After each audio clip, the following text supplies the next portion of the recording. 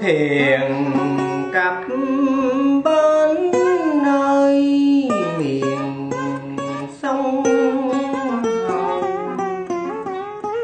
Khỏe thì chèo mệt đầu ngắm thơ. Ở hậu giang ba tánh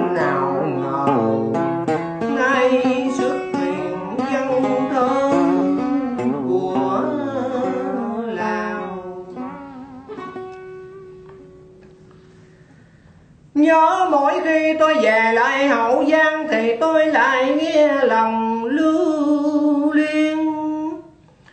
Thương biết bao nhiêu con người ở miền sông hậu, đạo đức chơi dơi còn đang đứng đợi.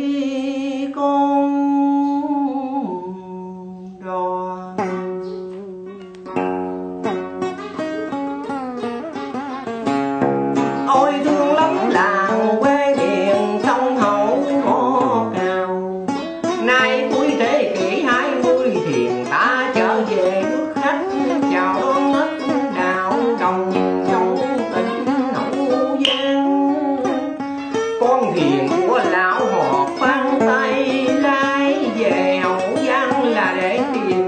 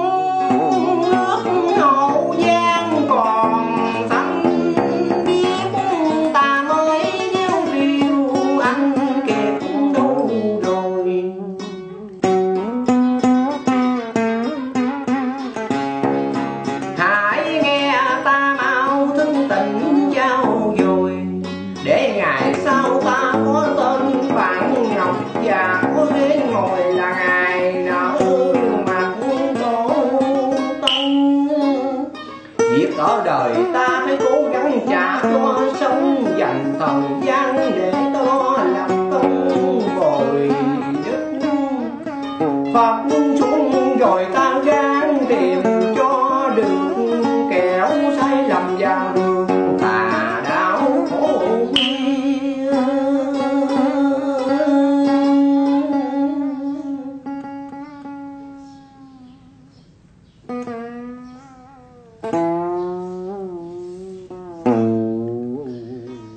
hậu giang ơi, bao lời lão nhân. Thiền nan dương trở lại miền tây. Xem lê dân trong đoạn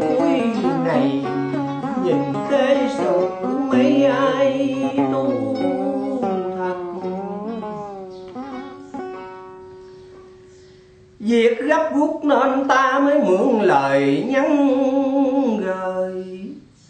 Cho tất cả những ai còn đang say mê Theo bả lợi danh và vật chất kim tiền.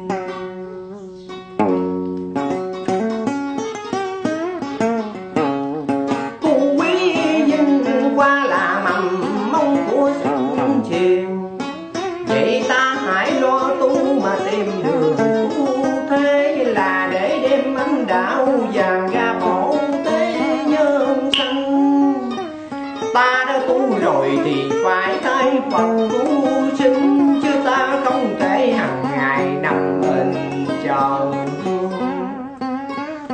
Đem chân lý ra là giúp cho người khác.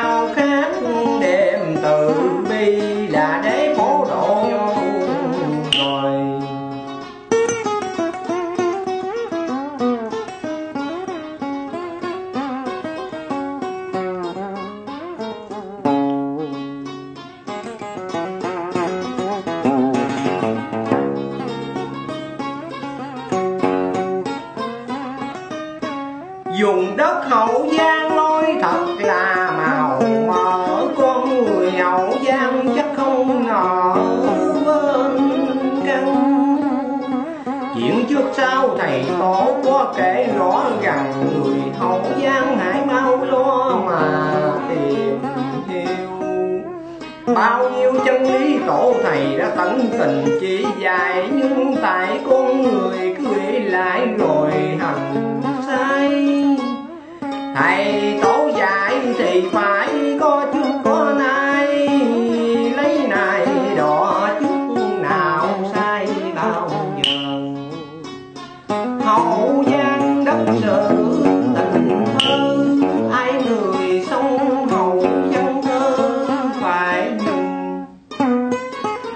Yeah.